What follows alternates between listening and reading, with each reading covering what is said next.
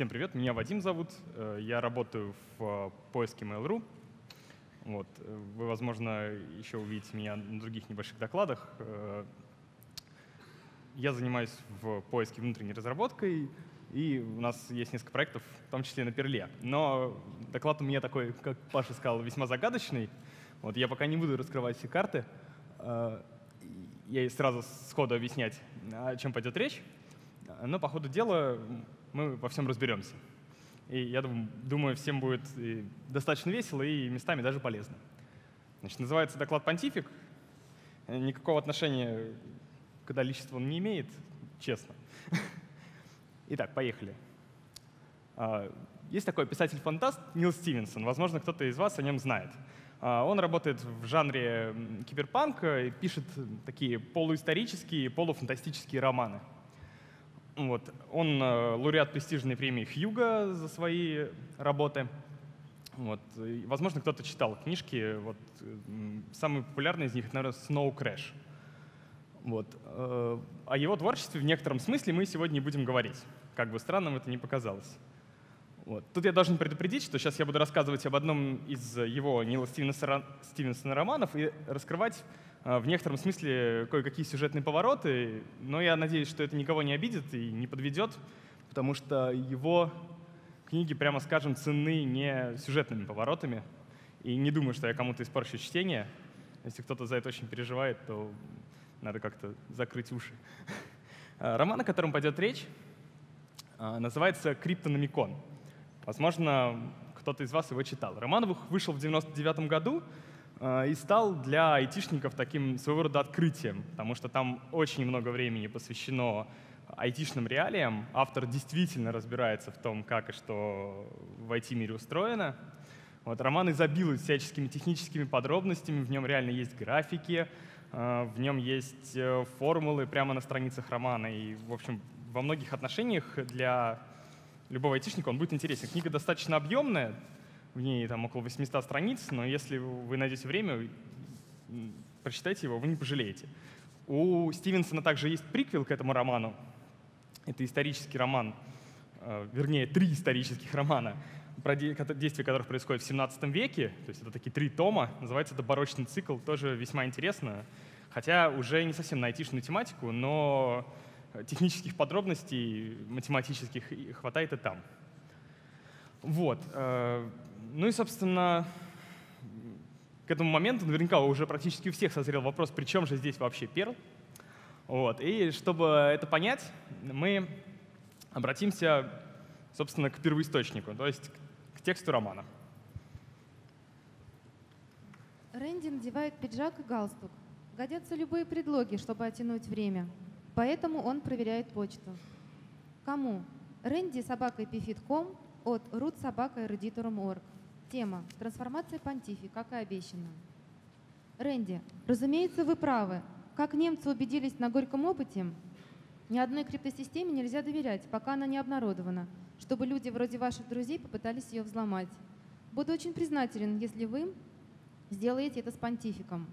В понтифик заложены некоторые асимметрии, особые операторы выбора – который трудно выразить в нескольких элегантных математических строчках. Он почти просится, чтобы его записали псевдокодом. Но зачем сочинять псевдо, если можно написать настоящие? Ниже прилагается программа понтифика на языке Perl. Переменная доллар D большое содержит 54-элементную перестановку. Под программой E генерирует следующий элемент ключевого потока, изменяя этим доллар D большое. То есть, помимо технических подробностей, формул и графиков, э, Стивенсон также опубликовал в романе Perl Script. Э, это он, это э, реальный скриншот, скажем так, это скан реальной книжки английского издания. Вот. В нем действительно есть Script. Что самое главное, он реально рабочий и реально делает то, что э, написано. Тут есть некоторые проблемы с набором. Вот, например, вот, вот, вот эта запятая, которая всем ясно, что запятая, потому что у пака два параметра, она выглядит как точка. И что любопытно, во всех электронных изданиях там реально точка. И поэтому просто завести этот скрипт уже было некоторые проблемы, потому что, несмотря на то, что в оригинале он прекрасно работает, с распознаванием текста все достаточно плохо.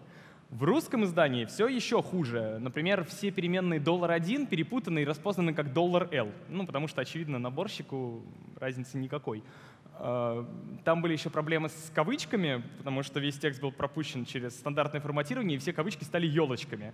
Вот, разумеется, вот таки, ну, вы понимаете, да, вот такими. Разумеется, елочки, ну, первый интерпретатор, он как-то их понимает, но не так, как хотелось бы. Вот.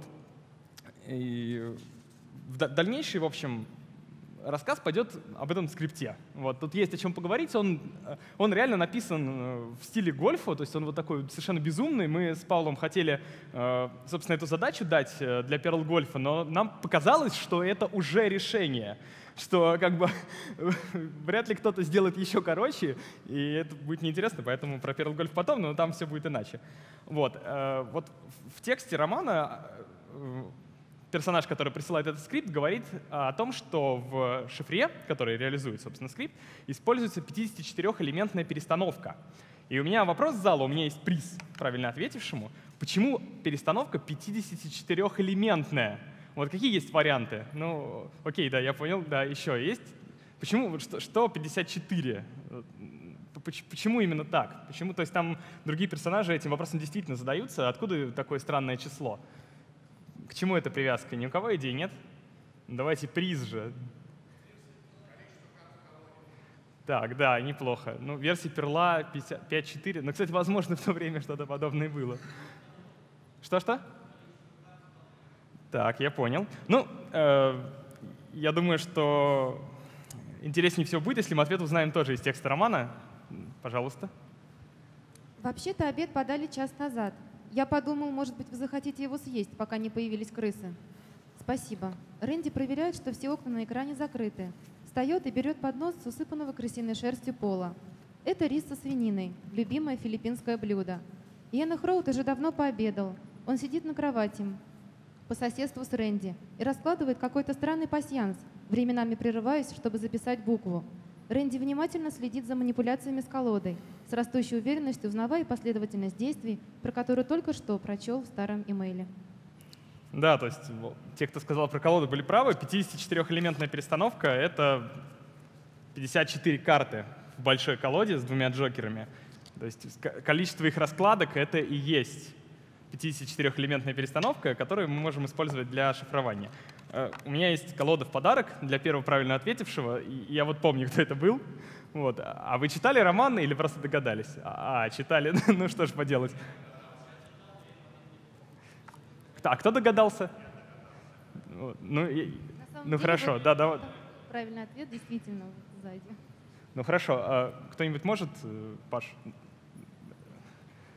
Ага, спасибо. А что самое главное, так, все так и есть, да, 26 плюс 26 — это 52. И два джокера, да, об этом пишет автор шифра, что, как, как, как пишет э, автор криптосхемы, мимо такого совпадения грех пройти. Вот. Ну, теперь я расскажу, как, собственно, понтифик работает. Вот. Во-первых, то, что нам нужно знать, что понтифик — это обычный генератор гаммы или там э, шифр с обратной связью по выходу, как по шифротексту. Что такое генератор гаммы?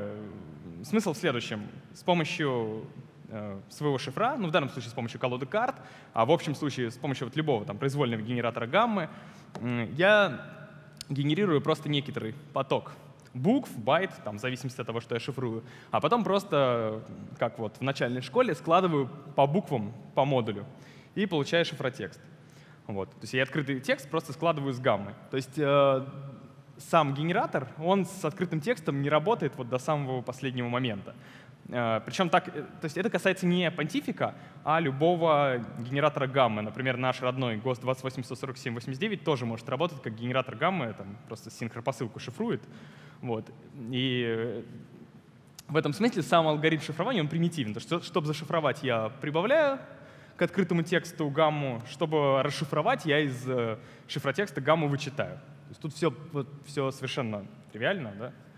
Вот. Единственное, то есть шифр поточный, он может по одной букве, он по одной букве в гамме генерирует, соответственно, по одной букве может шифровать. А, единственное, что автор пишет, что он говорит, что это дань традиции, он бьет открытый текст на блоки по 5 букв и дополняет иксами. А, соответственно, после расшифровки иксы убирает. Что делать, если на конце текста есть иксы, которые являются частью текста? Он не упоминает. Ну, видимо, подразумевается, что поскольку вообще шифруются буквы, а не байты, тут есть как бы некоторый такой семантический подход может использоваться, что и так понятно по тексту, что происходит. Вот. Мы разобрались, как оно работает снаружи. Теперь нам нужно понять, как же генерируется сама гамма. Идея в следующем. У меня есть колода, разложенная определенным образом, вот, конкретным. То есть, по сути, то, как разложена колода, это и есть ключ. Такая же колода есть у моего собеседника, и он генерирует точно такую же гамму, чтобы потом ее вычесть. И теперь мы разбираемся, как она генерируется. Я беру колоду так, лицом к себе, то есть вот эта карта крайняя — это верх, вот, то есть а, открытая картинка, а вот там рубашка. А, здесь на картинке карт не 54, но это просто не принципиально. На самом деле в колоде их 54 штуки. А, в колоде должно быть два джокера, и они должны быть различимы. То есть мы различаем джокер А и джокер Б. А, в реальности в обычных колодах джокеры действительно различимы. Вот у меня, например, в колоде один черно-белый и один цвет, цвет, цвет цветной. Вот. И если кто не видит, вы не поверите на слово, действительно так. А, автор книги упоминает, что в его колоде джокер есть с маленькими звездочками и с большими звездочками. То есть обычно джокеры различимы. Если в вашей колоде джокеры неразличимы, вы можете один из них пометить, но вы должны понимать, что если вы хотите скрыть сам факт того, что вы что-то шифруете колодой и носите ее с собой, то достаточно сложно это будет сделать, если карты будут меченые. То есть, то есть это вызовет вопрос. Если вы там каким-то образом э, от кого-то прячетесь и там, боретесь с тайной полицией. Итак, э, первый этап. Я нахожу Джокер А, в моем случае вот этот черно-белый, и перекладываю его на одну карту вот ближе туда, вот так, как нарисовано на картинке. Вот. Это первый этап. Второй этап. Я нахожу Джокер Б, перекладываю его на две карты. Вот так. И, опять же, если кто-то не видит, то ну, как бы, картинка весьма исчерпывающая, это не принципиально. А, тут нужно понимать, что если Джокер лежит в конце, то тогда он перемещается в начало. Причем переход от э, конца в начало шагом не считается, то считается только замена на карту. Вот. Также нужно понимать, что пока я просматриваю колоду, колоду, у меня есть соблазн перекладывать Джокер Б сразу, если я его нашел первым. А, но этого делать не стоит, потому что если он лежит рядом с Джокером А, то порядок, в котором они двигаются, может быть принципиален. То есть если Джокер А и Б лежит рядом, сначала нужно подвинуть А, а потом уже Б. То есть они поменяются в обратную сторону, и вы можете срезать углы, только если полностью уверены, что они разнесены. Вот. На третьем этапе я беру колоду до первого Джокера и кусок колоды до первого Джокера и кусок колоды после второго. Вот так вот. Раз и два. И меняю их местами. На данном этапе уже не важно, какой из джокеров А, какой Б. Если они будут лежать наоборот, я все равно беру края. И края меняю местами. На четвертом этапе происходит самое интересное. Я смотрю на верхнюю карту колоды и беру ее значение. Э, значение карт считается просто. Есть старшинство мастей, то есть обычно это что-то вроде буби, крести, черви, пики. Вот у меня пики — это значит, я 13 раз, 3 раза беру по 13, и еще прибавляю значение карты. Ну, значение карты 6, понятно, 2, 3, 4, 5, 6, 7. Вот. И еще там 39, и того у меня получается там, 45. Да? Вот. Э, соответственно, я беру значение этой карты. Вот в моем примере значение — это 9. Я отсчитываю 1, 2, 3, 4, 5, 6, 7, 8, 9 карт и подснимаю их, но вот эту верхнюю карту откладываю в сторону и потом кладу снова сверху. Вот. Объясню, почему верхняя карта остается сверху. Дело в том, что для криптоанализа нужно, чтобы все операции с колоды были обратимы. То есть, э, так, это была задача автора, когда он создавал криптосхему. И если я в этот момент подсниму и карту замешаю, то обратное действие будет невозможно. Если же я ее оставляю на месте, я могу снова посмотреть ее значение, отсчитать 9 карт уже сверху и положить их обратно. Это принципиальный момент. А, соответственно, если там сверху лежит джокер, понятно, что нет джокеров 52. Если там сверху лежит джокер, какой бы то ни было, они оба 53. Поэтому тогда просто вся колода остается на месте.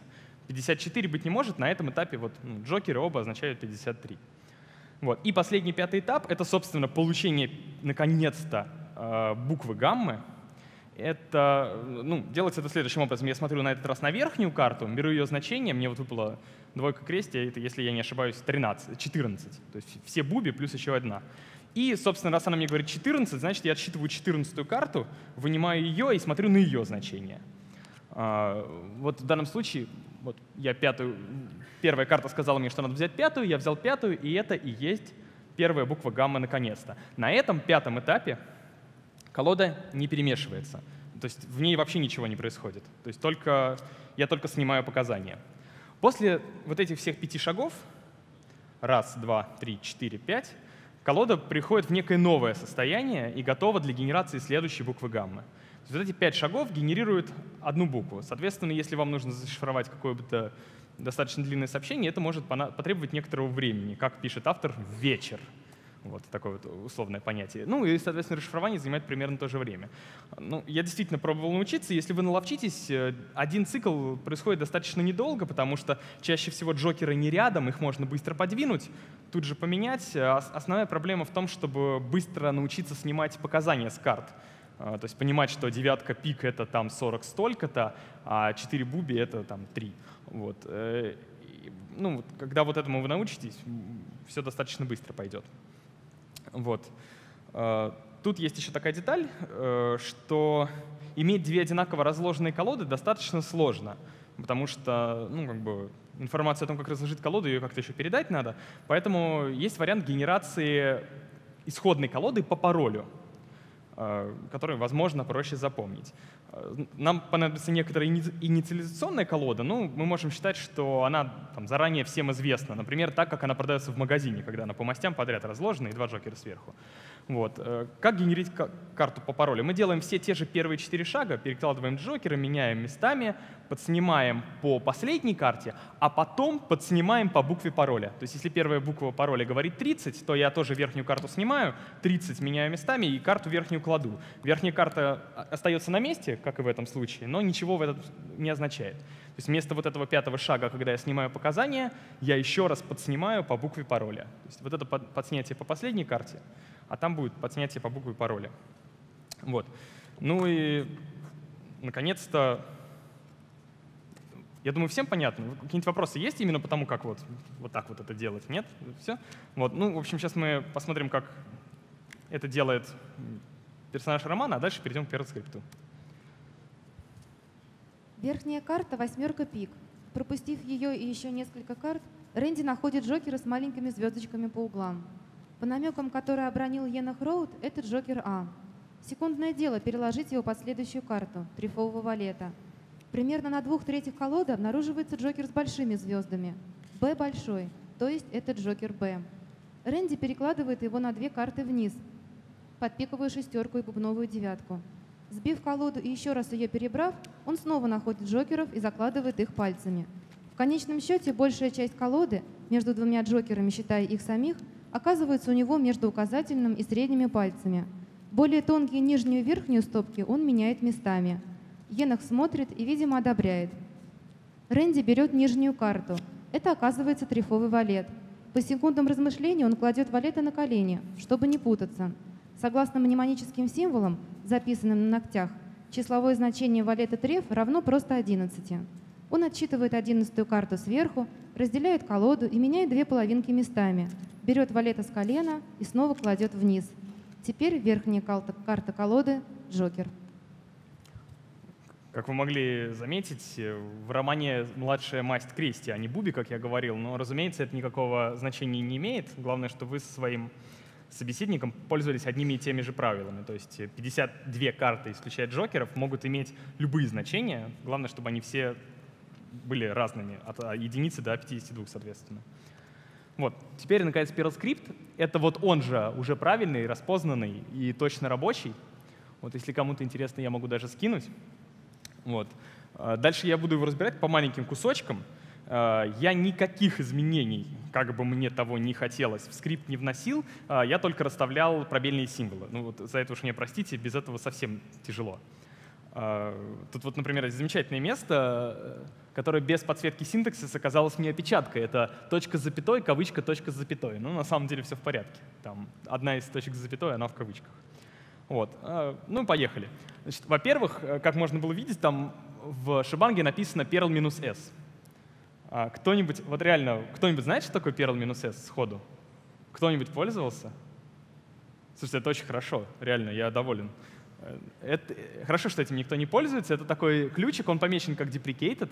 Он позволяет снаружи э, установить скрипту э, переменные. Переменные, соответственно, пакета main, то есть те, которые our. То есть если я, у меня есть программа, которая выводит x, y, z через пробел, логично предположить, что она выведет там что-то типа два пробела и кинет в варнинге. Это не так.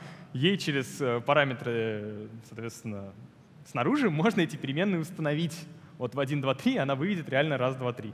Вот. Если вы, когда запускаете программу, ожидаете, что у вас в пакете main переменные не определены, то вот имейте в виду, что иногда могут. А, этим пользуется автор. А, соответственно, скрипт принимает два параметра. Это а, d и k. Один из них — это, соответственно... Нет, собственно, принимает один параметр d. Это дешифровать ли или не дешифровать. Вот. Ну вот, поехали. Значит, первая строчка, все просто. Он проверяет, если мы дешифруем, то мы вычитаем гамму, если шифруем, то прибавляем. Это просто коэффициент, на который там потом будет умножаться. Здесь все просто. А, дальше числа. М?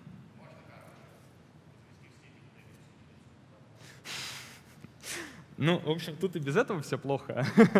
Но я понял, да, то есть э, если бы это был гольф, то можно было бы короче. А, вот. Дальше берутся числа от 33, от 33, от 33 до 86, это просто печатные символы. Вот. Они паком преобразуются вот в такую вот строчку. Это, собственно, колода. То есть здесь 54 карты, и у каждой есть вот э, свой код. А пак он что делает? Он берет данные, которые во втором аргументе, и пакует их по, ну, преобразует их по шаблону, который указан в первом. В шаблоне в данном случае сказано все чары. Вот он берет чары с кодами от 33 до 86. Соответственно, U и V — это два джокера. И если, ну, я могу сразу сказать, U — это джокер А, V — это джокер Б. Вот. И, соответственно, дальше вот эта строка — это колода, и дальше регулярками мы будем ее вот так вот мешать, как я показывал с реальной колодой. То есть будем U там двигать и V куда надо. Вот. Дальше считывается э, пароль, который просто скрипту указывается уже не с минус S, а вот просто. Вот. И в этом пароле все буквы становятся большими. Вот это Y, я думаю, большинство знакомо, но на всякий случай упомяну. Это то же самое, что TR, это translate, ему передается набор букв слева и справа, и он попарно их меняет. Э, y, ну, TR понятно, это translate, а Y это из седа приехало. Если кто-то знает, почему Y, потом мне расскажете, честно, я, я не понял. Тут еще с этим есть проблема. Вот. А дальше мы подготавливаем код, пока складывая его только в переменные, который будет двигать джокеры. Значит, поскольку U — это первый джокер, то делается следующие два преобразования. Во-первых, вся колода, у которой джокер в конце, меняется на джокер в начале, и это вся колода. То есть если вдруг, ну, почему так делается? Если вдруг джокер у меня сверху оказался, я его просто в начало перекладываю, это ничего не меняет, потому что колода — это как бы кольцо. Это еще не движение на один, это пока просто перекладывание. Если джокера в конце нет, то ничего не произойдет. Вот. А потом я говорю, что Джокер и следующая за ним карта меняются на эту карту и Джокер. То есть наконец-то я двигаю. Но пока этот код не исполняется, только складывается в переменную. А, таким образом, в переменной доллар $u большое записан код, который двигает первый Джокер. А, а следующая строчка в переменную доллар $v большое записывается код, который двигает второй Джокер. Просто берется код из первой строчки, и в нем регуляркой у меняется на v есть мы подготавливаем код, кладем его в переменную, обрабатываем регуляркой, чтобы получить еще немного подготовленного кода, а потом это все будем и валить, ну, чуть попозже. Вот. Э, дальше я скакну вниз по исходнику и э, разберу функции, которые там объявлены. Э, сначала там объявлены v и w. И w. v — это, по всей видимости, value. Что такое w, я не знаю. То есть она просто так называется. Возможно, это ничего и не означает. Соответственно, функция v просто берет значение карты она на, берет значение карты по ее номеру в колоде. Она находит эту карту в колоде, берет ее код, вычитает 32, потому что мы там от 32 генерили, получает значение. А потом, если вдруг получилось 54, больше 54 все равно получиться не могут, то все равно возвращается 53, потому что оба джокера — это 53, как я уже упоминал. Вот. Функция W, которая я не знаю, э, что, означает, но знаю, что делает — Э, делает следующее. Она подснимает по своему аргументу. Что, что в этой регулярке происходит? Вот этот вот первый аргумент, который передали функции. Она ищет э, столько карт, сколько ей сказали, потом все остальные и еще последнюю. Последнюю она оставляет на месте, столько карт, сколько сказали, кладет перед ней, а остальные в начале. Вот. То есть это вот буквально одна строчка. Доллар D большое — это, естественно, глобальная переменная. Почему нет, правильно? Вот. Э, соответственно, вот этот вот четвертый этап, на котором я смотрел на верхнюю карту и по ее значению подснимал, вот так вот, да, это вот это вот W. То есть W — это подснять. Вот. Функция E — это, собственно, кодирование. Э, что она делает? Для начала она и валит у большой в большой, она перекладывает первый джокер один раз, а второй джокер два раза. Джокер А один раз, джокер Б два раза. То есть это первые два шага. Таким вот одним изящным иволом. Вот. Э, следующий этап э, — это поменять то, что справа и слева от джокеров находится местами, но это делается просто. Все, потом какой-то джокер, потом то, что между ними, потом другой джокер, потом все остальное. Ну и все просто, значит, то, что было в начале, кладется в конец, то, что было в конце, кладется в начале, а то, что от джокера и то, что между ними, остается на месте. Вот. А дальше мы берем, смотрим значение верхней карты. Напоминаю, функция v по номеру карты выясняет ее значение. Мы берем это значение и подснимаем по нему. Вот. А дальше, э, в зависимости от, от значения переменной k, которая означает, что мы сейчас раскладываем колоду по паролю, об этом чуть-чуть позже, мы можем делать два, две разные вещи. Если k установлено, мы подснимаем по нему. То есть k — это очередная буква пароля. Если k не установлено, а значит мы не раскладываем колоду, а шифруем, тогда мы возвращаем значение очередной карты. Э, мы в c кладем, э, мы смотрим значение первой карты, нулевой, да? Э, получаем номер карты, которая нам нужна, смотрим ее значение еще одним v.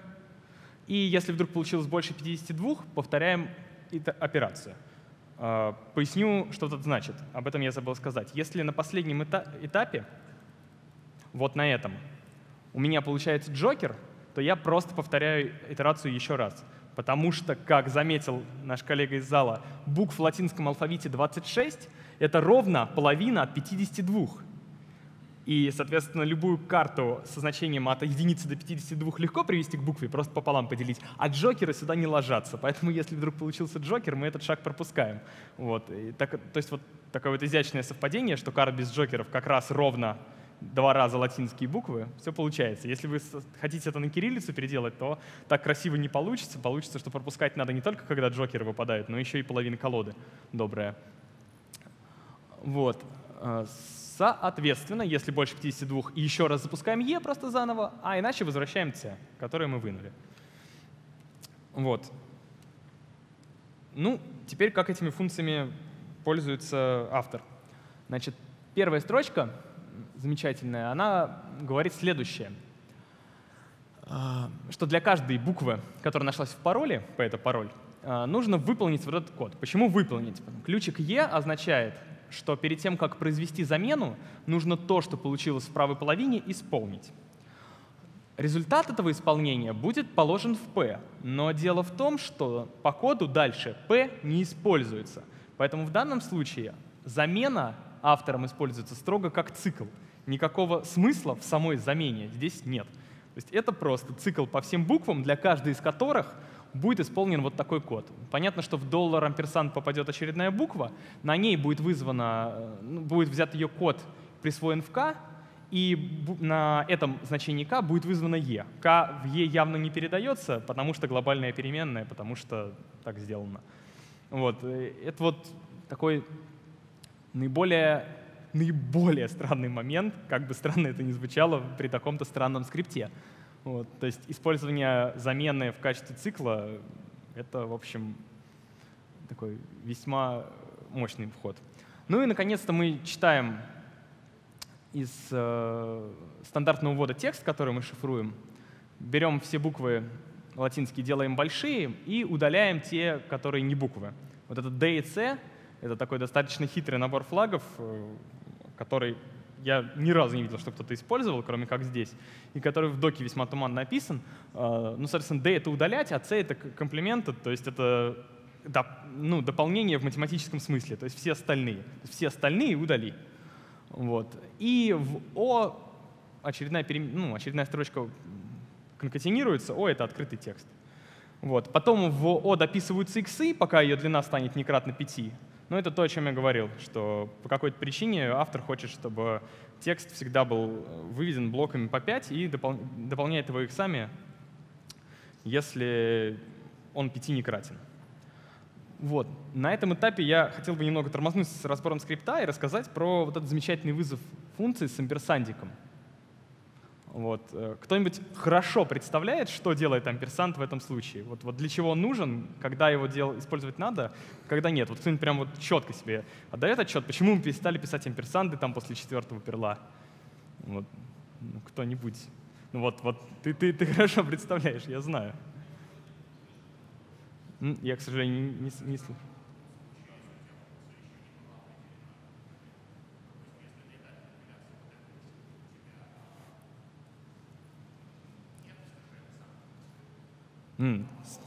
Это, это, кстати, интересно. Вот про, про это я даже, наверное, не знал. Ну, в общем, есть...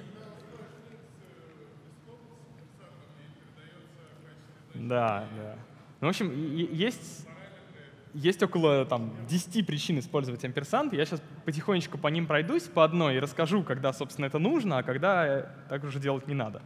Значит, э, самый первый, самый частый способ. Амперсанд нужен для того, чтобы брать ссылку на функцию. Без амперсанда ссылку на функцию взять нельзя. Если вы напишете просто слэш без амперсанда, вы возьмете ссылку на результат ее исполнения. Ну, если она, или на BareWord, если вам не повезло, если, в общем, если он поймет, что это вообще функция.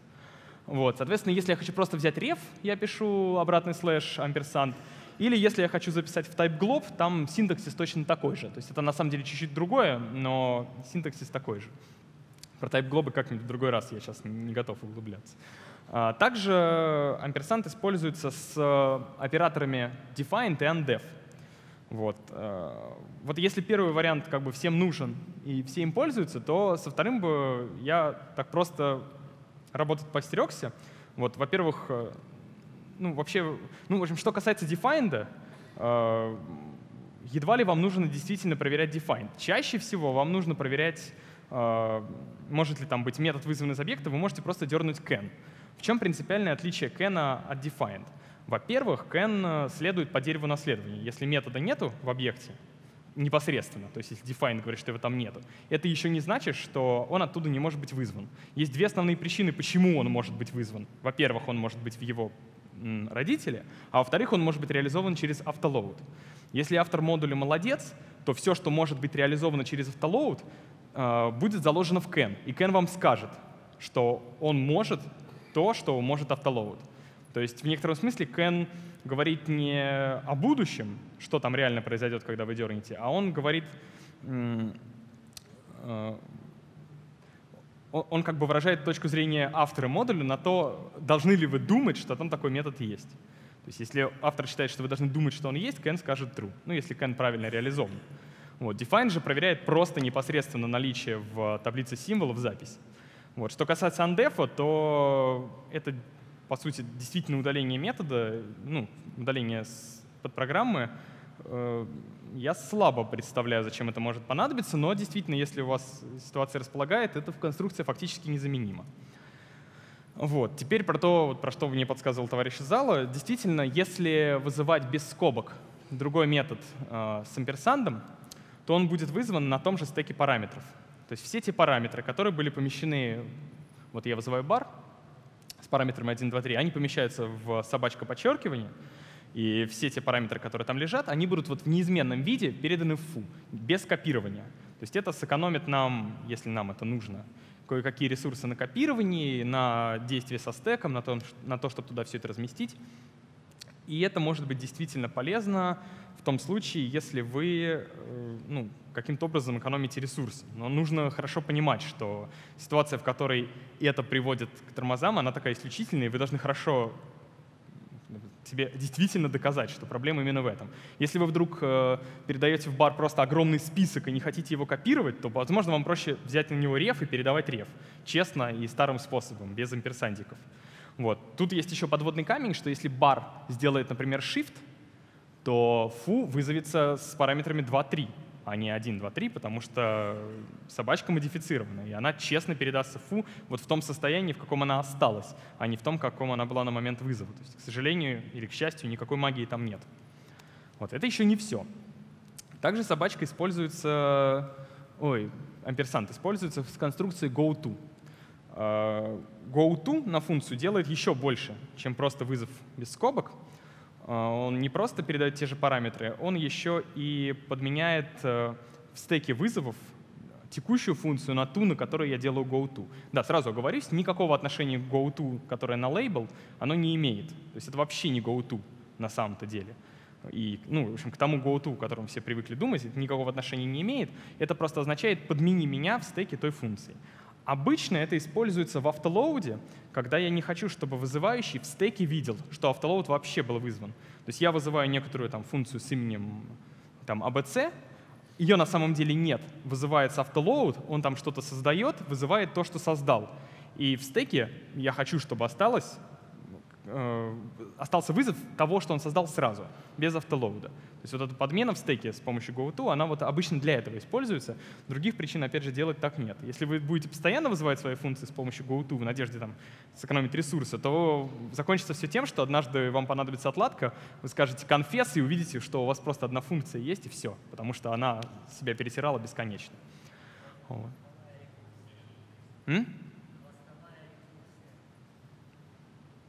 Да, я понял. Вот товарищ из зала подсказывает, что если, вернее, мой коллега на самом деле, э, что если вы по какой-то причине упираетесь в глубину стека при э, рекурсивном обходе, но на самом деле возврат в функцию как бы более высокую вам не нужен, то есть вы имеете дело с хвостовой рекурсией, вы можете использовать GoTo. Тогда вы просто сэкономите место в стеке, он не будет переполнен. Вот. Опять такой исключительный случай, который вы хорошо должны понимать, э, с чем вы работаете и почему вы именно так делаете. Вот. Также вам амперсант понадобится, если вы определили функцию с именем, как какой-нибудь э, как какая-нибудь встроенная конструкция перла. Например, вы определили функцию QV. Если вы вызовете QV, это все еще будет конструктор листа просто. Никакая ваша функция не вызовется. Вам понадобится амперсант. Но на самом деле, конечно, вам понадобится не амперсант. Вам понадобится переименовать функцию. Не надо называть функцию QV, даже если вы можете ее вызвать. Вот, то есть, вот прям нет. Вот, то есть это просто синтаксический э, я познакомился с синтаксической конструкцией из академических целей, пользоваться ей не надо. Вот.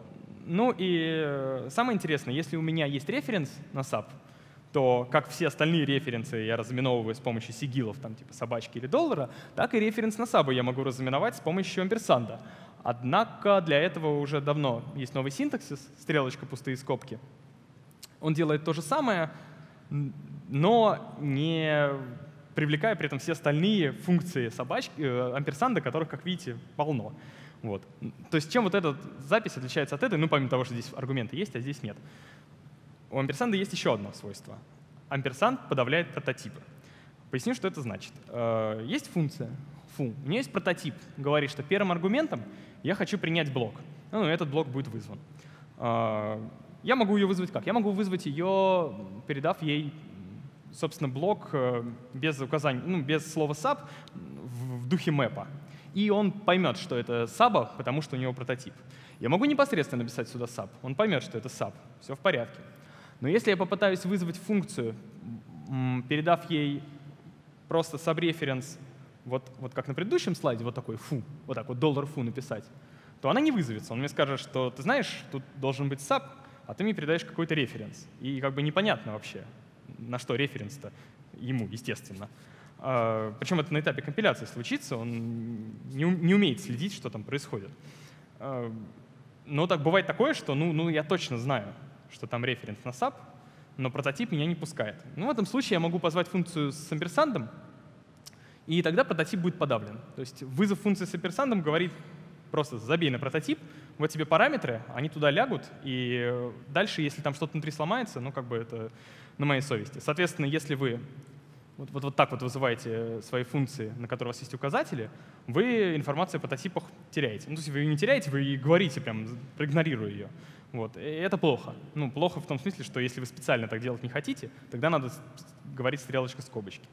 А, для чего нужно подавлять прототипы? Ну, например, э, есть функция, которая принимает блок, ну вот, вот такая вот красивая, и она там какие-то проверочки делает там, по, по другим аргументам и немедленно называет другую функцию с таким же блоком.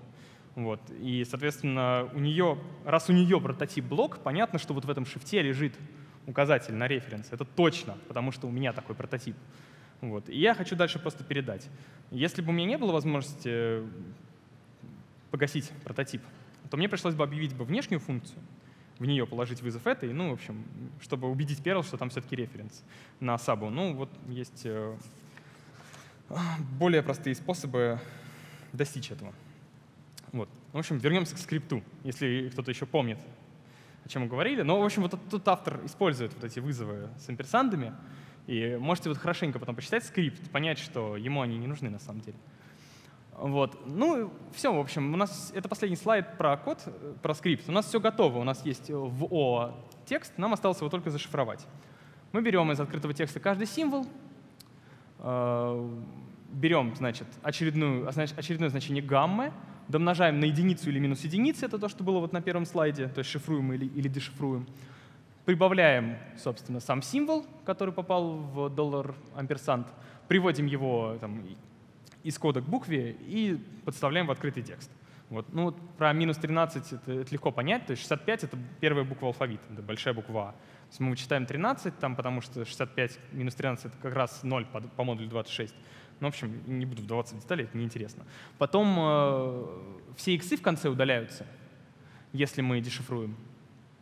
И потом э, каждое, после каждого пятого символа ставится пробел, вот это пробел. Ну, это чтобы красиво выводить просто. Ну и все, и выводим. И в конце ставим перенос строки. Вот. На этом, в общем-то, работа скрипта во всех смыслах завершена. Э, и наш анализ его тоже. В общем, что касается скрипта, я, я не знаю, кто его писал, к сожалению. Я не знаю, писал ли его автор, писал ли его автор шифра, а, ну, в смысле, автор романа, автор шифра, или же его писал какой-то третий человек. Для них я не, не нашел указаний на это. Я не знаю, почему они сделали его таким коротким. Возможно, им нужно было просто поразить читателя, и они ну, в некотором смысле развлекались. То есть им нужно было просто в книжку вставить код. Ясное дело, что вот через 15 лет какой-то парень прочтет как бы про него доклад, конечно. еще я читал, что в Нью-Йорке в 99 году кто-то про него тоже доклад делал. Наверное, все. То есть там человек 300, наверное, во всем мире. Там, да. Какой год? Роман в 99 году издан. Вот, то есть я, я не понимаю. То есть, возможно, ну, действительно, если бы они написали Э, честный код, он бы занял там 5 страниц романа, ну это было бы как-то некрасиво. А так, там такое аккуратное письмо, вы можете потом вот подойти к моей э, очередной барышне, книжка в руках, посмотреть, там вот просто такой, на, такая нашлепка симпатичная, и ты такой, вау, и дальше пошел читать. Естественно, даже я, я когда читал роман, я даже вчитываться не стал, потому что, ну, представляете, вот, вот, вот, вот, вот это. Он говорит, это шифрует. Вот. А у тебя не подсветки синтаксиса, ничего, это только видишь, что там елочки э, и кавычка между двумя точками с запятой стоит. Вот. И никакого даже желания разбираться нет. Вот. Но, в общем, эта тема меня так зацепила, что вот решил с вами поделиться. Вот. Ну, в общем, про скрипт на этом все.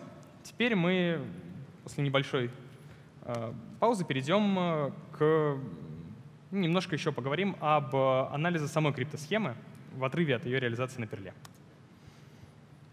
Кому? Рэнди собака Эпифит.ком от Control собака Эпифит.ком.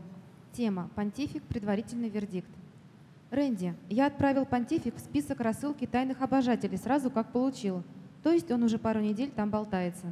Несколько очень толковых ребят проанализировали его на предмет слабых мест и очевидных изъянов не нашли. Все согласны, что конкретные шаги, использованные в преобразовании, малость чудные, Хотелось бы знать, кто их придумал и как, но для хороших криптосистем это не редкость. Так что на сегодняшний день вердикт таков. Этот труд собака Eruditorум.org соображает, что делает, несмотря на свою странную зацикленность на числе 54. Кантрел. Да, вот э, герой романа, который занимается анализом шифра, он поражается общем, двум большим вещам. Во-первых, что за 54?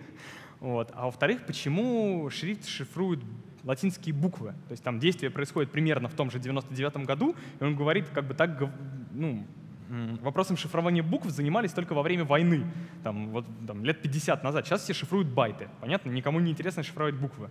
Вот. Но все, все дело в том, что шифр — это как раз э, по роману «Времен войны», и именно поэтому он шифрует буквы. Вот. А колоды используются, потому что, очевидно, ну, как бы, сейчас каждый может себе незаметно установить приложение в телефон или даже воспользоваться каким-нибудь веб-сервисом для шифрования чего угодно там вообще. А, ну, естественно, своим собственным веб-сервисом. Вот. А ну, как бы, в 40-е годы э, э, э, этой возможности не было, и, соответственно, колода карт в некотором смысле заменяла карманный компьютер. Вот. Это Брюс Шнайер, это автор, собственно, криптосхемы а не автор романа. Он для Стивенсона придумал эту схему. Она называется на самом деле Solitaire, ну, то есть типа пассианс. Э, но в романе она называется понтифик, чтобы от читателя до, ну, до какой-то до какого-то момента скрыть, что используется колода карт. Точно так же, как я назвал презентацию понтифик, а не солитейр, чтобы скрыть от вас, что там используется колода карт. Вот. Хотя, как Паша упоминал, был спойлер если кто-то читал описание доклада там где-то в марте месяце, то он мог догадаться, что, что все не так просто. Вот. Шнайер написал приложение к криптономикону, в котором описал подробно, как э, схема работает. Это то, что вот я вам рассказывал. Правда, ни слова не сказал про Perl скрипт, к сожалению. И дал несколько советов по его использованию. Э, первое, что нас интересует, это, собственно, где брать ключ. Самый простой способ это разложить одинаково несколько колод и раздать всем своим собеседникам. Вот. Но с этим могут быть проблемы, потому что ну, как бы колоды кончатся или колоды, может быть, скомпрометированы, и тогда придется от них избавиться и каким-то образом доставить новые. Э, то есть раскладывать колоду, ну как бы чисто механически, это достаточно большой объем данных.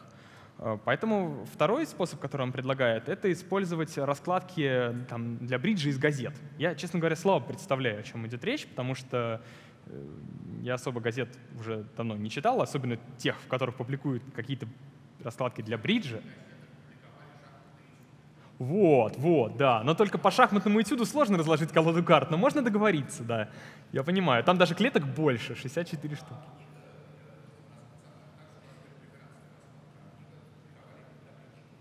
Вот, ну вот, вот человек чуть, чуть постарше, и он понимает, о чем. Вот. Соответственно, но он пишет, что если вы будете ими пользоваться, то нужно быть, соответственно, аккуратным, потому что поскольку, как он говорит, тайная полиция тоже читает криптономикон, и она понимает, о чем речь. И как бы бриджевых раскладок, очевидно, не так много, особенно в современных реалиях, когда есть компьютеры, можно их быстренько там все собрать и просто перебрать. То есть, поймали шифротекст? Хм, может, у них там понтифик по газете? Опа, точно он. вот. Э, ну и, соответственно, последний вариант — это генерация по паролю. Причем генерация по паролю может использоваться как э, с исходной колодой, так там и с секретной, так и с бриджевой, как угодно. Но вообще подразумевается, конечно, что если мы раскладываем колоду по паролю, то само исходное состояние колоды, оно известно. То есть можно публиковать там в открытых источниках, это не проблема. А, но тут, правда, есть другая загвоздка, что автор пишет, что для достаточной безопасности для пароля должно быть порядка 120 символов. Если он будет меньше, то это не даст достаточной безопасности. 120 символов фактически означает, что вы должны совершить 600 действий над колодой, чтобы привести ее в исходное состояние. Вот, ну, в общем, это достаточно накладно. Ну, ничего поделать нельзя, потому что, э, чтобы зашифровать сообщение длиной 120 символов, придется совершить те же 600 действий. Вот. Эм, далее автор э, дает очень важный совет, который, в принципе, любой уважающий себя криптограф и так должен знать если вы работаете с генератором гаммы, любым, даже если это не понтифик, вы ни, ни при каких обстоятельствах не должны использовать одну и ту же гамму два раза для шифрования двух разных сообщений. А, легко понять почему. Если у меня есть два сообщения, зашифрованных на одной и той же гамме, то вычив одно из другого, я получу разницу между сообщениями без учета гаммы вообще. То есть гамма уничтожится, и останется просто разница между двумя сообщениями. Дальше, используя статистические методы, ну, то есть, поскольку там не набор букв, а там, видимо, английский текст, вот, и я знаю разницу между двумя английскими текстами, легко понять, что это небезопасно. И, соответственно, расшифровав эти тексты, я еще и гамму получу, и все последующие тексты будут вообще взламываться на раз. Вот. Есть э, такой простой метод протаскивания слова, просто чтобы вы понимали, почему нельзя э, так делать.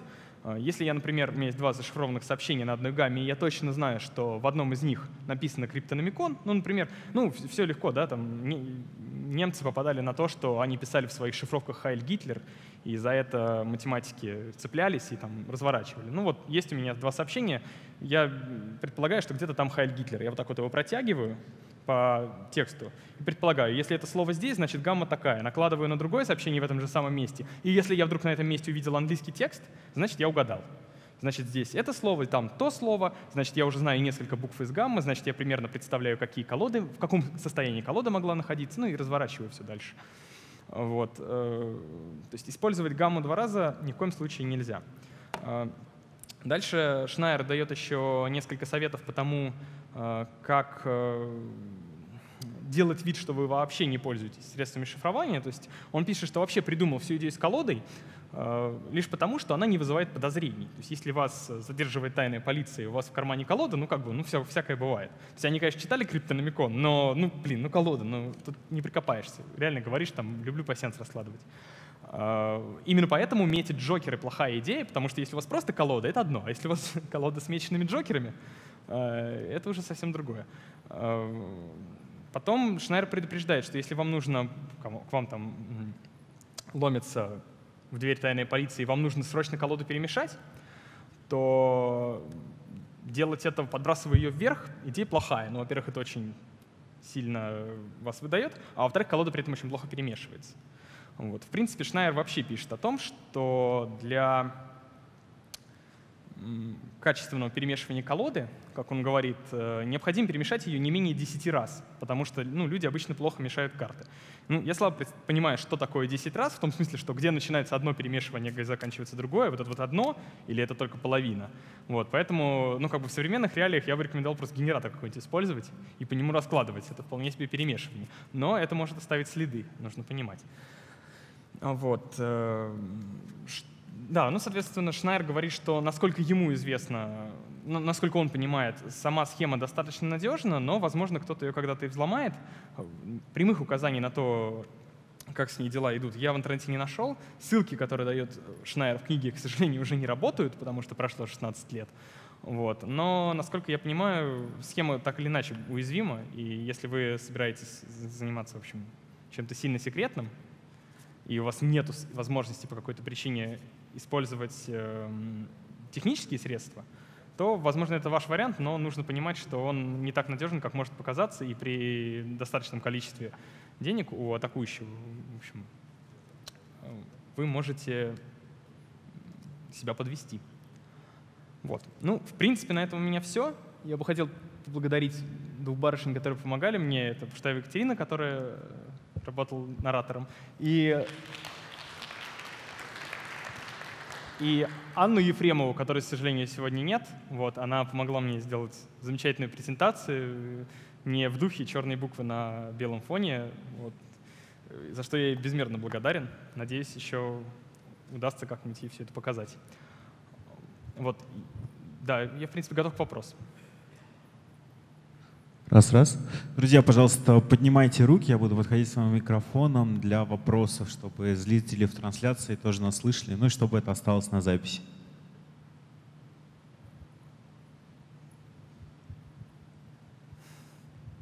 Вадим, вот такой вопрос. Вот ты говорил, что если Джокер попался на последней стадии, да, то мы снова перебрасываем. А там как-то доказывается, что нет циклов?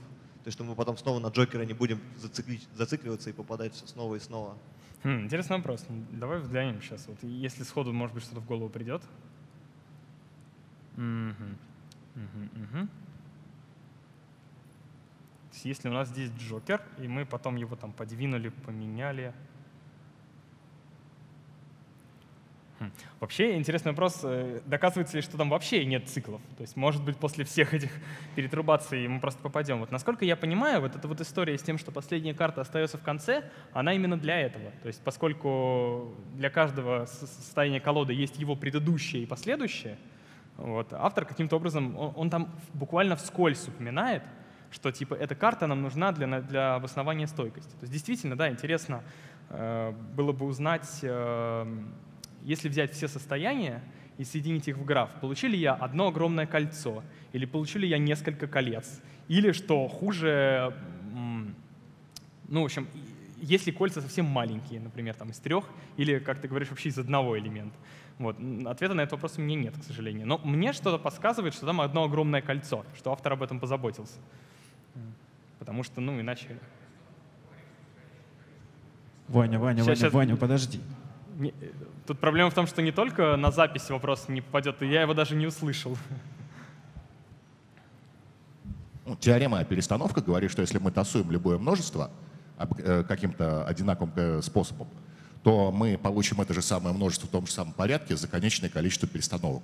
Нет, понятно, что когда-то... То есть э, вопрос в том, что вот у меня есть 54 факториал состояний, и я хочу, чтобы в идеале мой граф выглядит как 54 факториал нот, связанный в одно огромное кольцо. Это было бы идеально.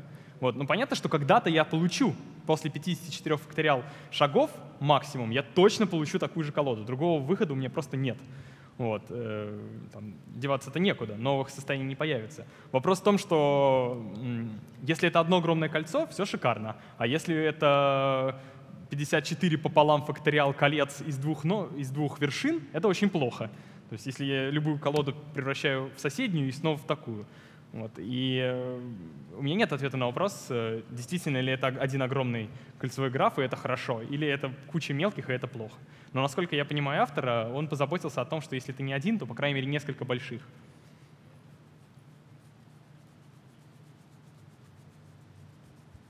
Тарам-пам-пам. Ну что же, если вопросов больше нет, Вадим, спасибо большое.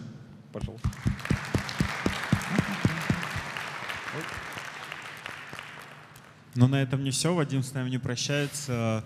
После такого доклада, в котором даже в книжке уже был гольф, э, мы не смогли обойти Вадиму вниманием. И он, в принципе, мы, мы сперва с ним думали, может быть, сделать задачу на основании того, что вы видели. Но действительно, как он упомянул, там уже и так настолько все загольфировано. Но Ваня вот нашел еще способ сделать еще короче. Ну, может быть, там где-то еще есть, но, в принципе, интересной задачи мы не нашли. А потом Вадим пришел и сказал, есть у меня любимая задачка старая, и можно с ней поиграться. Сейчас он более подробно расскажет а, о гольфе, а, который мы предлагаем вам, с которым мы поиграем, предлагаем вам поиграть на всех в течение этих двух дней. И в конце завтра подведем итоги, наградим вас призами, но о которых расскажу чуть попозже. Угу. Так, ну, в принципе, если кто вообще не в курсе, Perl Golf — это такая безумная игра, в которой задача состоит в том, чтобы реализовать некоторую программу, но с тем условием, чтобы в ней было настолько мало символов, насколько это возможно. Вот. Единственное, что не считается шибанк, то есть если у вас вдруг путь до перла на системе длиннее, ничего страшного. Вот. Э, но считаются ключи к шибангу, потому что если, вы, если бы их не считать, можно написать минус е тра-та-та и все. Вот. А, то есть э, самое главное, чтобы после этих двух дней игры в гольф у тех, кто будет играть, эта привычка не просочилась в продакшн. Вот это очень важно. я заранее всех прошу, пожалуйста, не делайте так. К нам приходят люди, говорят, ваш язык плохой, посмотрите, какой безумный код. Мы говорим, при чем тут язык, кто это писал, приведи нам его. Вот, э, значит, э, задание опубликовано на, ну, в общем, на моем гитхабе, то есть можно легко найти, там вот Вадим Пуштаев гитхаб, можете набрать, и Паша сейчас разместит новость на сайте Япсираши, где даст ссылку на этот гитхаб. Э, смысл в следующем.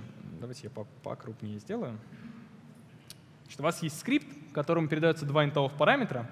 Это ширина и высота матрицы. Нужно эту матрицу заполнить вот так вот по спирали по часовой стрелке числами, начиная от одного и инкрементируя их. Примерно вот так.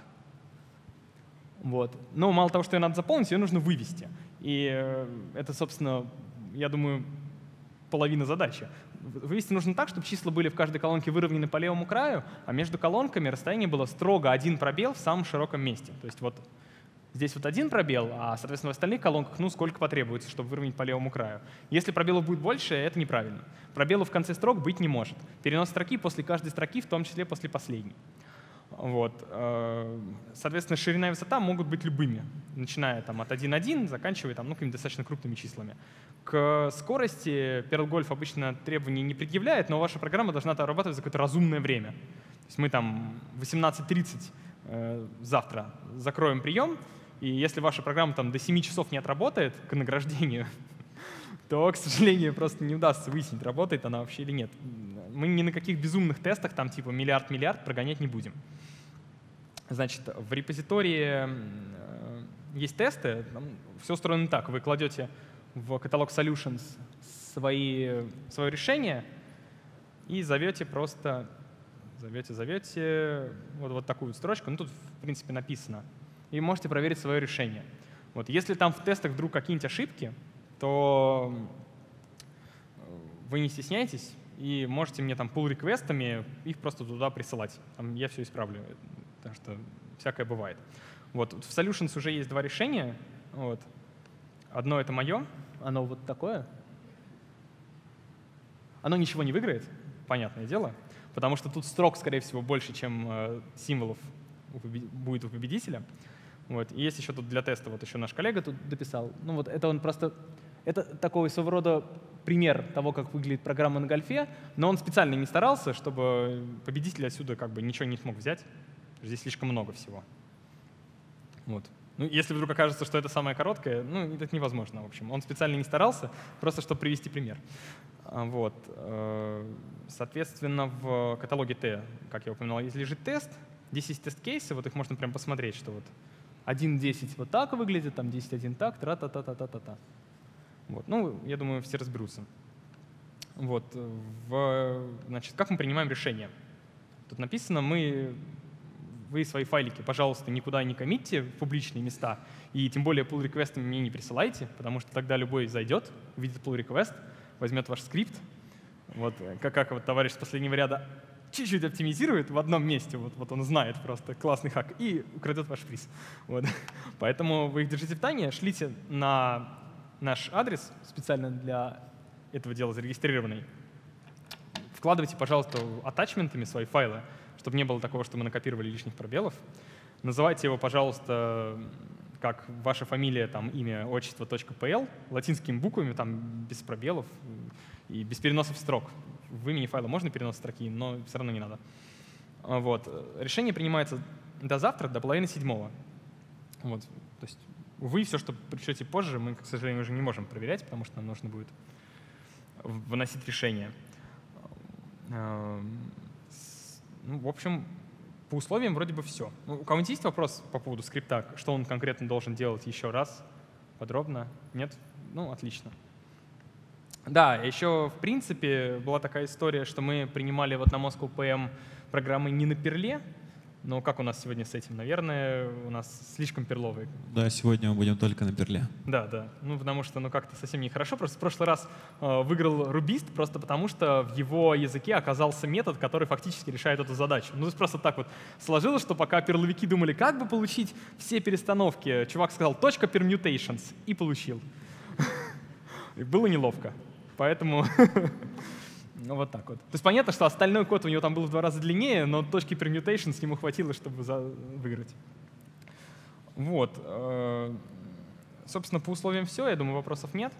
Вот. Ну и поскольку у нас еще время осталось, э, у нас есть такая, как это называется, традиция. Мы рассказываем про Perl Secret. Есть такой, как, ну, как бы такая дока, в которой автор описывает как бы секретные операторы перла которые, разумеется, являются просто набором, ну, комбинации существующих и всем известных операторов. Вот. И, в общем, мы потихонечку о них поговорим, насколько нам времени хватит. Я думаю, все будет хорошо. Вот. Вот он здесь предупреждает, что, пожалуйста, не в продакшн, пожалуйста. Вот. Вот, ну, поехали, что? Э, это Венера. Все понимают, что делает Венера. Вот. Она преобразует строку в число вот настолько хорошо, насколько это возможно. Вот. Ну, понятно, что просто при сложении инта и число должен int получиться.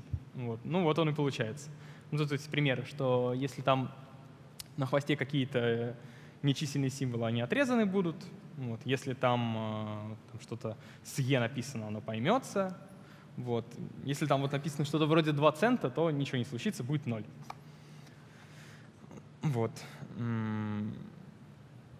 И вот он тут предупреждает, что вообще там оверлоуд может вызваться, когда вы это делаете, так что эффекты будут совершенно потрясающие. Вот есть э, следующая штука — это Baby Card. Ну, кстати, вот Baby Card э, очень-очень редко, э, но реально нужен. Логика в чем?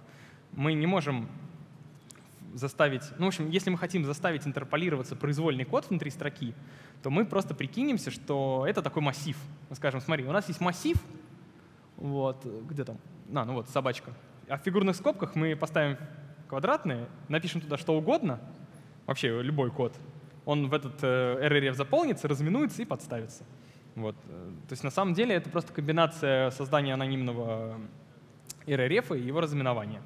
Вот. В некоторых языках, например, в злосчастном Ruby, вся интерполяция так работает. То есть типа там решетка, фигурная скобка, любой код. Ну вот как бы в Perl тоже есть такое, называется baby card. Вот. Возможно, вам это пригодится. Ну, два восклицательных знака тоже порой встречаются в продакшене. Это просто верни булево значение. Понятно, то есть берется любое значение сколь угодно полезное, к ним применяется восклицательный знак, оно возвращает уже bool, но противоположный, поэтому пишем еще один восклицательный знак, чтобы снова вернуть bool тот, который нужен. Вот, соответственно, undef — это false, а string — это true. А, ну и, как мы знаем, true и false-то нет, поэтому единица и пустая строка. Вот. Э, дальше есть greeting, который куда-то делся. Это две вот такие фигурные скобки. Тут что-то у них с докой случилось. Э, в чем суть? Когда вы пишете, ну, вызываете Perl с ключами типа минус «p» или минус «n», как вот здесь, вот, он оборачивает всю программу в while с фигурными скобками. Э, тут интересно то, что он не делает вид, что оборачивает, а он реально оборачивает. То есть если вы скажете минус моди парс, вы реально увидите, что к вашей программе просто приконкатинировали кусок сначала и кусок с конца. Вот. И. До того, как она интерпретируема. Соответственно, если у вас внутри невалидный код, то это еще не значит, что он останется невалидным после того, как к нему припишут while с, открывающейся фигурной скобкой и закрывающейся сначала и с конца. Поэтому, если вы поставите, вот, вот, вот, исполните вот такое, это вот невалидный первый код, понятное дело, то после оборачивания while он станет валидным, потому что while э, там минус p, например, допишет туда там свой print, while что-то там та -та -та, закроется фигурной скобкой, которой я поставил первый, а потом откроется вторая, в ней сделается print, и она снова закроется. То есть это будет, по сути, while, а потом еще do. Вот. Э, называется он Eskimo Greeting, потому что это похоже на приветствие. Вот Паша рассказал двух эскимосов, они там вроде носами касаются, чтобы поздороваться. Вот мне больше нравится альтернативный никнейм Butterfly. Это, по-моему, гораздо приятнее. Вот. О, что-то случилось. Они, они все сломались. Сейчас мы пробуем еще раз. Опять слом.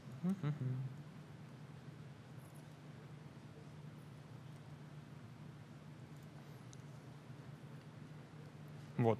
Э, ну, короче, это оператор вот, вот такой вот. Две волнушки. Э, он, короче говоря, делает примерно то же самое, что скаляр, как пишет автор, и экономит 4 символа. Вот. Ну, действительно, в общем, если вы на гольфе, вам нужен реально скаляр, вы можете такую штуку сделать, потому что это там битовое отрицание, оно требует скалярного контекста, вы возьмете то, что вам нужно в скалярном контексте, но, к сожалению, от, ну, в общем, обращенное. Но вы еще раз его обратите и получите то, что надо. Вот. Причем, более того, скаляр еще, небось, в некоторых случаях пробел после себя потребует, а эта штука нет. Так что можно даже 5 символов сэкономить и получить заветные призы, о которых нам вот-вот расскажет Паша. Вот, называется он, в общем, я даже затрудняюсь перевести. В общем, какой-то какой червь, который вот еще бывает на палочке. Вот. Вот. А, эта штука, в общем, вот, вот, вот так вот она выглядит. Она делает безумную вещь, она уменьшает число на единичку. Общем, там это связано с битовым представлением. В общем, если вы в это, ну, вы если в это вникнете, я сейчас не готов просто объяснять это слишком жестоко, но действительно, посмотрите, да, то есть если вам нужно что, э, получить значение уменьшенной на единицу, не уменьшая его, Вы можете вот, вот так вот сделать и сэкономить там какие-то символы. Ну, это скучный оператор на самом деле совершенно. Вот, например, космическая станция гораздо веселее. А, значит, она... Сейчас. А почему это лучше, чем плюсик? Да, вот написано, что это, в принципе, та же Венера.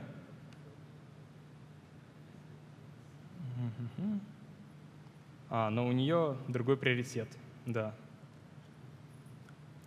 Вот, дальше идет оператор, который я пропущу, потому что, в общем, я не рекомендую гуглить, главное не гуглить.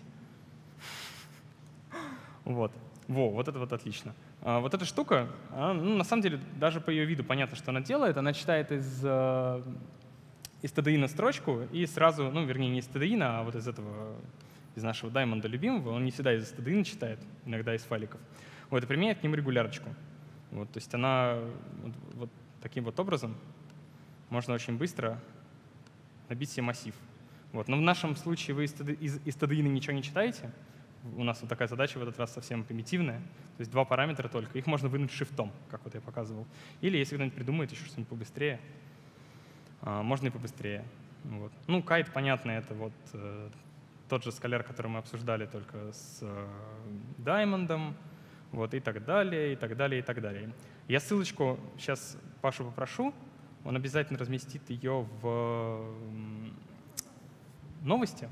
Я сейчас, ну, в принципе, если вы загуглите просто Perl Secret, вот, то вы получите ответ на вопрос, который вас интересует.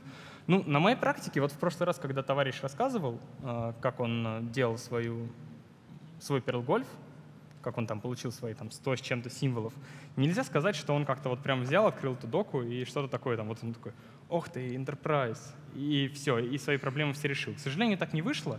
Вот. Ему приходилось более хитрые понятия решать. Например, ему нужно было переменная, у которой там какое-то инсталляционное значение, типа там единицы или ноль, и, или даже какое-то более экзотическое. И он такой решил, ну неужели не найдется в перле переменная, в которой уже есть мое инсталляционное значение? И он там перебирал по доке, вот просто совет, и вот и нашел какую-то служебную переменную, которая модифицируемая оказалась, что его вполне устраивало. А, это была переменная номер строки. Вот, ему нужна была двойка. Он во второй строчке взял переменную номер строки, и, оказывается, в нее можно было даже что-то записать, записал, считал. В общем, все у него получилось замечательно. В общем, проявляйте фантазию, пишите нам. Вот, у нас все получится.